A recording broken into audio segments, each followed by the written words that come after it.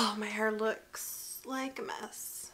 Hello booktube, it's Lia here and today I am bringing you a review of Radiance by Catherynne M. Valente. Now, I have been slowly working my way through all of Catherynne M. Valente's novels and this is the latest one I read and completely loved it and I'm really excited to talk to you about it. Radiance is a multi-layered exploration of the impact the disappearance of a filmmaker's daughter has on him as well as the people who were close to her. It's set in an alternative deco-punk reality where humanity has colonized the solar system by the early 20th century. The story unravels, part documentary, part fictional recounting through film transcripts, interviews, script rewrites, and the imagination of her father, Percival Unk, as he tries to write a film that answers the question, what happened to his daughter Severin? And by doing so, answer the bigger question, what makes the perfect ending to the story of someone's life. In my Goodreads review, I mentioned that this book is both hugely epic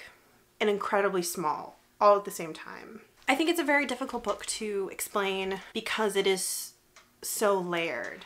There's kind of the surface story, which is the mystery, if that's what you want to call it, of Severin parents, but it's layered throughout philosophy, meta, references to several different classical mythologies, the alternate reality in which it's take, it takes place, our reality. It's just, it's an incredibly complex novel that I very quickly fell in love with as I was reading it. That being said, it's really not for the faint of heart. And I can understand that a lot of people aren't going to like it because it's very off the beaten track. And so with this review, I kind of want to highlight some of the things about it that I love and that I think you might find interesting or that to help steer you towards either reading it or not reading it. Because you could have either a very positive reaction to reading this or a very meh reaction, I think. Very fundamentally, this novel is about story. It's a story about story. It's a story about structure in story and storytelling and how we tell stories, both fictional and quote unquote non-fictional. And because it's so deeply rooted in storytelling, specifically film storytelling, I mean, it, the entire book is narrated by directors, writers, cinematographers, actors, paparazzi. Because that is the case, the way film stories are told is very vital to this book. So one of the first things that you need to be aware is that the style in which the story is told is kind of avant-garde. There are several sections in here which are interview transcripts or scripts, like literal scripts with camera direction, set dressing directions, dialogue. And only about half the book is actually what you would consider traditional fictional narrative. So if you don't like alternative forms, this might not be for you. But as someone who's generally not a very big fan of really alternative forms, like I really love movies, I really like stage plays, but I don't like reading a script just to read it. This, however, was extremely enjoyable. So, so I think Catherynne Valente, one of her, one of her real great talents is writing exactly to the form or the genre of her book.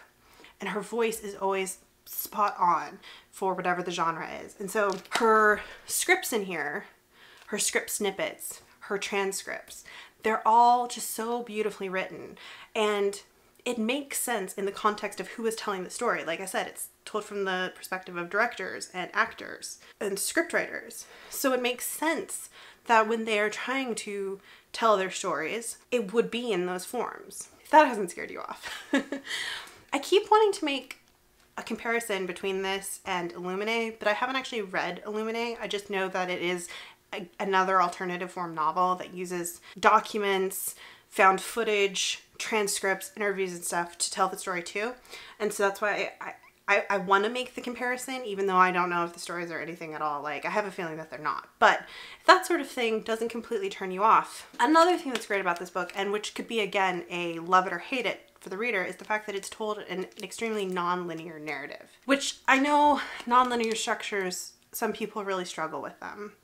So that might be something you don't want to dive into. I personally love epic stories that are told non-linearly. I love having little pieces given to me and I love watching the way they kind of sew themselves together. And then my battery died. So I think the angle of this might have changed. But continuing what I was saying, so I've been trying to think of answers to the question if you like blank, you might like radiance. But it's been really quite difficult because there's honestly nothing that I've watched or read that really compares to this book. But I have a few ideas. These aren't going to be necessarily super obvious comparisons, but bear with me. Okay, so first of all, I think it helps to have an appreciation not just of science fiction or alternative histories, but also of deco punk and to some extent magical realism. All of those elements are present in this book. So riffing on that, when I say deco punk, one of the best examples of that genre I could think of is actually Bioshock, the games. And I'm not saying that the plot of Bioshock is anything at all like the plot of this, but they both have somewhat dark, creepy elements to them. But if you like the Bioshock aesthetic, I think you'll really like the aesthetic in Radiance. And then, if you've ever, this is another video game. I feel like this probably tells you something about the kind of video games I play, but if you've ever played The Secret World, which is an online MMO, that's very much inspired by Lovecraft. There are elements of like Cthulhu and old gods and realities pressing in against one another and things i mean like i don't want to i don't want to spoil anything too much but like things elements consciousnesses aliens um, magic kind of pressing in on our reality and interacting with our reality in sometimes negative ways kind of creepy. Is something that is present in radiance? I mean not old gods. Old gods are not in radiance but um I don't know, that kind of foreboding sense of something bigger beyond your comprehension lurking just out of the corner of your eye is kind of present, like that that that feeling. Another thing, and I'm I'm hesitant to make this comparison, but if you like the film adaptation, or if you like films like adaptation, it's a Kaufman film. And it's literally about a writer trying to adapt a novel into a script.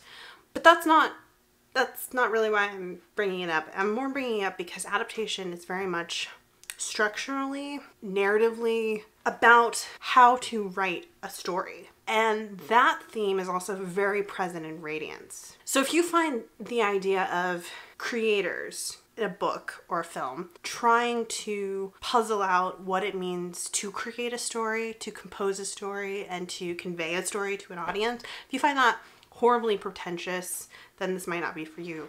If you like that sort of thing, if you like that kind of discussion though, I think you'll really like Radiance because one of the elements in Radiance, one of the central themes of it is that Severin Unk's father is trying to create a movie to tell the story of her disappearance.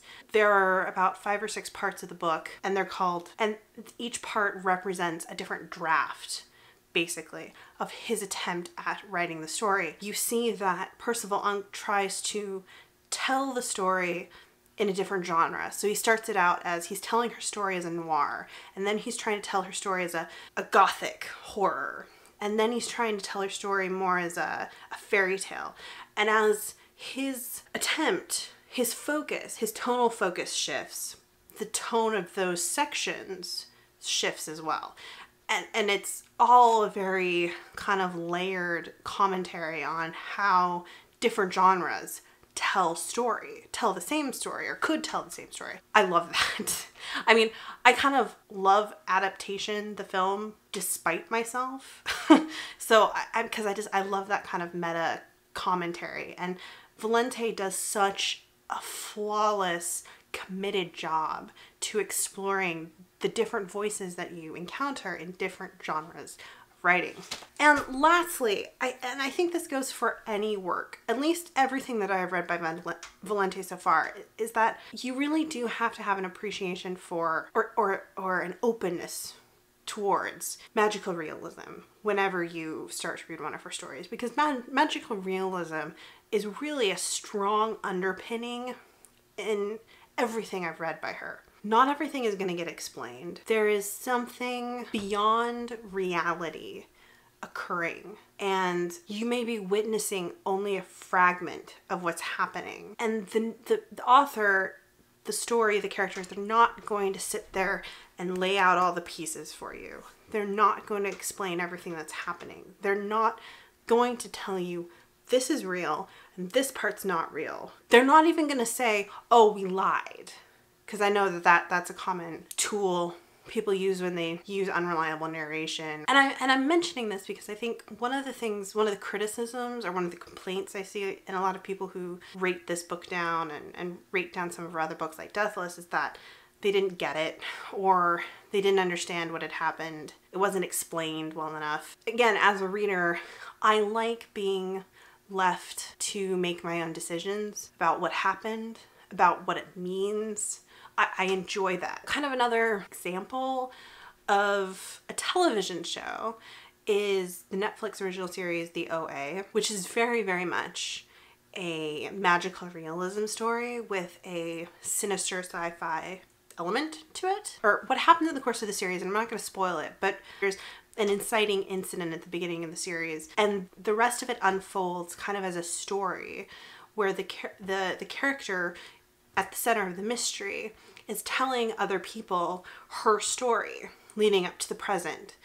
And there is always this pervasive feeling of question whether or not is what she's saying accurate because like we can see it but that doesn't necessarily make it real because it's still just a story she's telling us or is she telling us a story that's actually being filtered through a fictional lens for her to try to make the story less monstrous for herself? Is the story being changed in translation? And at the end, we don't get an answer. Like at the end of season one, there is no answer. Things happen, and then, you know, it fades black. And I think that's one of the central tenets of magical realism is being presented with, with series of information. And it's it's really left up to you as the reader or the, the viewer to make your own decisions about what pieces of it are absolutely true, what pieces of it aren't. Does it matter if you know what is absolutely true or what absolutely happened? This review got super long and rambly, despite my best efforts. And uh, got a little off topic there as I talked about magical realism and science fiction. I can't help myself. I really love it. I think it's a really beautiful book. I want to highly recommend it to everyone, but I think it's it's a little niche. That's not to say I don't recommend it. I would definitely recommend it if it sounds interesting to you. If you do pick it up, stick with it. Like the first 100 pages might seem kind of intimidating because the style is very different from probably what you might be used to reading. And there's a lot of information in it. Give it a chance because I think it has the potential to blow your mind a little bit it definitely blew my mind. It was a joy to read. And yeah, that's my rambly review of Radiance by Catherynne M. Valente. Check it out. And let me know if this review was at all helpful, if it inspired you to read the book or to check it out or not. I'm really trying to get better at this whole book review thing because I, I, like I really want to wreck books especially newer books because this is only two, a 2015 release. I really want to wreck things that I read that I think are really, really good. And I'm, I'm also hoping to do an entire author spotlight on Valente once I've read most of her books. And if you've already read this, let me know what you thought of it down in the comments. We can have a little discussion about it. I'd love to know if you enjoyed it or if you didn't. Anyways, I will see you guys all later. Bye.